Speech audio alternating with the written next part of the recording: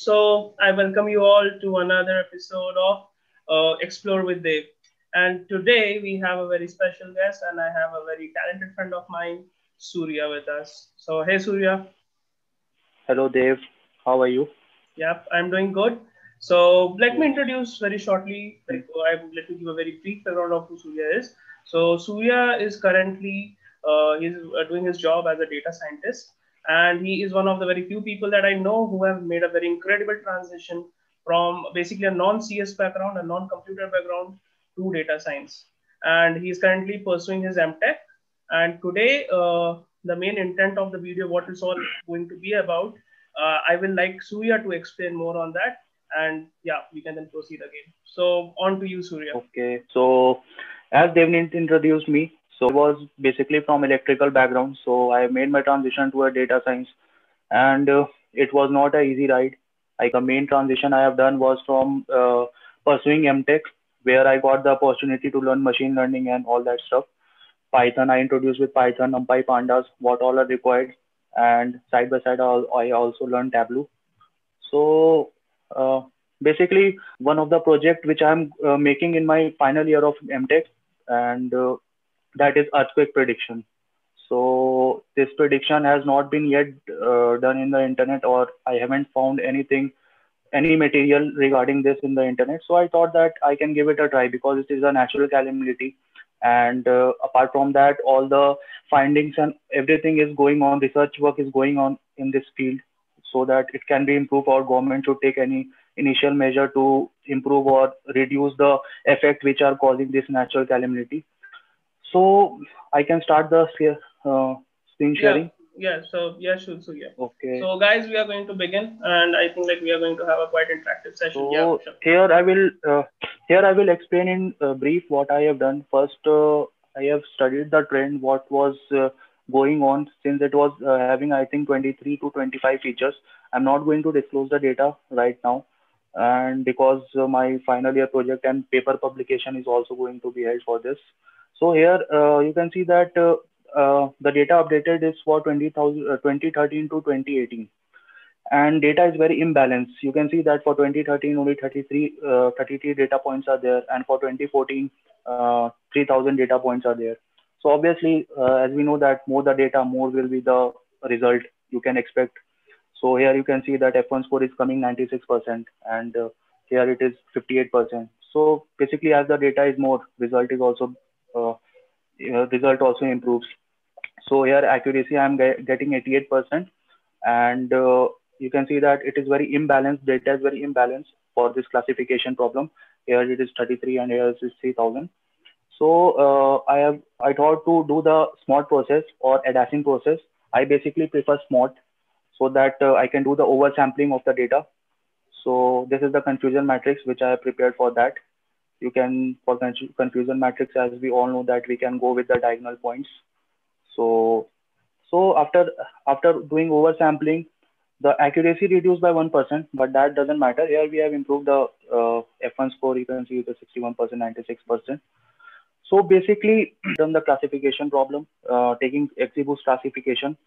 So uh, my aim is to predict the model. So uh, uh, as we know that for prediction, uh, we mostly switch to regression or something which has the continuous value. Here I have taken year as my uh, output variable. There I am taking magnitude as my output variable and I am predicting the latitude, longitude or the upcoming years for that. So I will show you that also. Here I have basically, one second, yes. Here I have done the XGBoost regressor.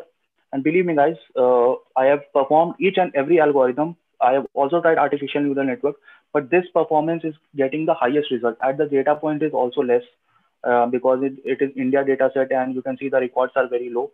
So having a 70% uh, accuracy is also a, a good accuracy. So uh, here having I have ha I have 70% 70% accuracy. Coming to the Tableau, so this is my prediction analysis.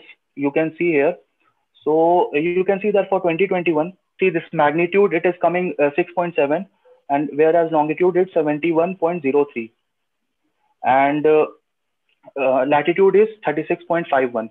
Coming to the prediction analysis, you can see that for 2021, the magnitude is coming around 6.7 uh, and longitude is 71.03, uh, whereas latitude is 6, uh, 36.51 for 6.7 magnitude, and it is predicting 2021.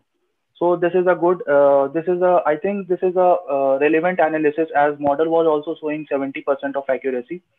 So for map analysis, I will also show the map analysis, which I have done. So this is the map analysis. Here you can see that the dark blue points are, are the more prone areas where the earthquake might happen. So uh, this is the more prone area. You can see that uh, majority and this prediction I have also done was around 70 to uh, 70 long and uh, 36 flat It was basically that region only. So uh, this was the my this was my prediction as of now that in 2021 uh, 35 long 35 latitude and uh, 70 longitude will be the most prone area for the earthquake. And which my model also predicted that uh, 6.7 magnitude will strike at around this latitude and longitude.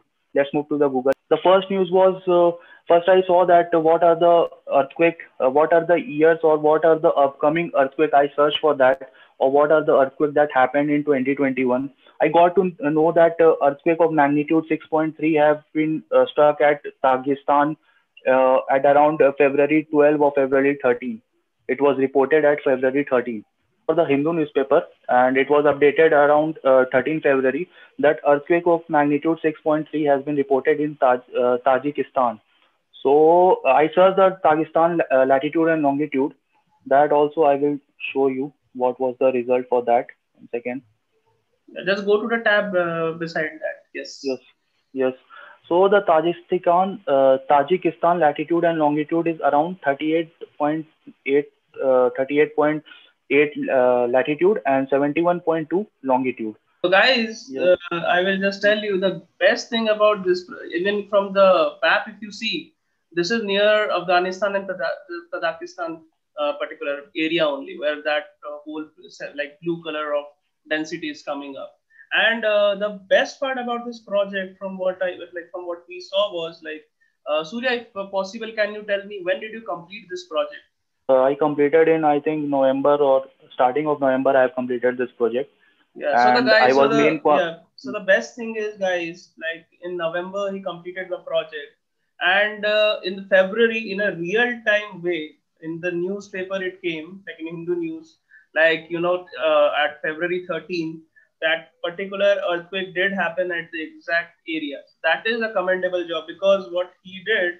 uh, is actually a part of a research, and this uh, like this can go even way ahead from even what I believe because if you see, he did predict it, and this like he's saying, this is going to be the first project uh, like in case of uh, prediction analysis, right? Uh, because still now in IoT yes. only this has yes. happened. Yes Yes, yes. Devni. So uh, I think that uh, if I get approval or if uh, I can I can present a paper or uh, if my paper is going to be published in IEEE. So if uh, that happens, then I will definitely uh, go for world prediction because in world prediction the data set will be also large. So I will get more chance to uh, predict more accurately. Here you can see that data set is less, so uh, accuracy is also coming 70%. So what minor error which was which I was getting in my uh, magnitude, like that from 6.3 to 6.7, so that will be also minimized if I will work with a larger data set. So next target is that I will be going to uh, perform my data analysis or data science project in this uh, world data. So let's see what happens, guys. Yeah, uh, and Surya also just just to know also a bit more like yeah, uh, what were the major challenges that you faced in this project? Okay, and like uh, what did you feel yes. like was something that you can improve also going ahead? Yes, yes, yes, yes. The see the first challenge, as I said, that data set was less. So the first when I performed the task, I started performing this task the first thing I thought that I can use simply use multilinear regression. That will be a good option.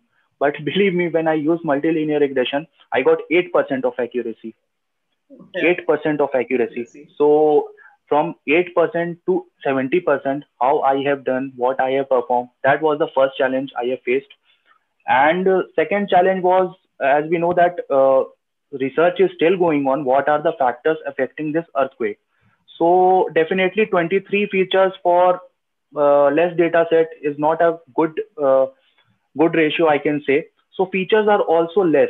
Features are also discovering day by day as scientists are also uh, working on this. So these are the concern because natural calamity, as you know, it is not easy to predict. So uh, it has been predicted what I have given the data. So if I get a particular uh, particular updated data, I can perform much better. So these all challenges were were uh, ahead me when I was going through this project. Mm-hmm. Thank you for sharing that with us, Surya. So, like you know, okay. uh, like just coming to the data science background, he has done a great job, and he has finally done a quite a good research, which is finally going to be published. And I think, like yes, it will gain a lot of success. So, firstly, I would like to congratulate you, Surya, for all your contribution Thanks, and hard work. Yeah. Thanks, and, Dev. yeah, and uh, like going ahead, also, guys, let us know if you want such interactive sessions where we can, you know, interact with people from data, data science background as a part of Explore with Dev. And also, I promise you, like me and Surya, we personally have decided that we are going to work on some amazing projects going ahead, some good collaboration between RPA and uh, data science, as you data know. Data science. Yes. Exactly. As you know, I'm working in RPA domain and Surya is from the data science domain. So we are going to do some projects where we are going to combine both of them because that is the next stage of where the intelligent automation goes and where the future of AI lies. So yeah, stay tuned to that. So we will be back with more contents. Uh, I would again like to thank you, Surya, for being a part of today's session. Okay. Sure. Thanks for uh, thanks for this valuable time. If you liked uh, this particular session, do uh, like, comment, and subscribe to the channel. And please post in the comments that what you want to see going ahead so that we can deliver those contents to you.